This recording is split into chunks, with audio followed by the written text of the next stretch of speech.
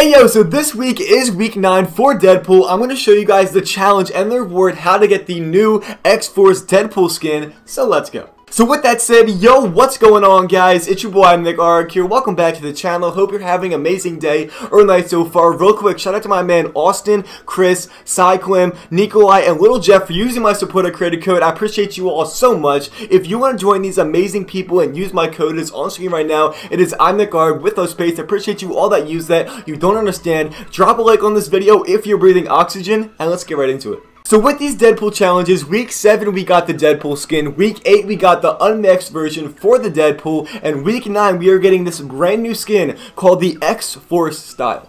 I'm going to tell you how to get it, how to do it, everything like that. But real quick, I want you to comment down below, what would you rate this skin style on a scale of 1 to 10? 1 being the worst and 10 being the best. I want to know what you think about that down below in the comment section. I've been seeing a ton of people say they like it, but then some people saying that they don't. So I really want to know what you think about that down below in the comment section. But with that said, let's get right into the challenges and how to do them.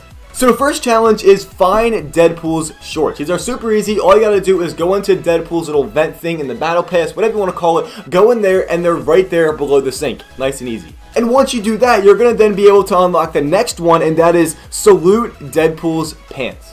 And obviously, this is going to be super easy. All you got to do is go to this location for the Deadpool pants. There's going to be an option for you to hit salute, hit salute, and then bam, easy money. Well, easy skin. And just a reminder, these challenges come out on Friday, April 17th. So with that said, if you made it this far into the video, make sure you comment the word pickle so I know. Thank all these amazing people on screen right now making this video last time. I appreciate you all so much. If you are new to my channel, make sure you guys subscribe. I would love to have you here and you will not be disappointed by subscribing. Drop a like on this video if you're breathing oxygen. Have an amazing rest of your day or night. And I'll see you guys either in a couple hours or tomorrow. And I cannot wait. Peace out.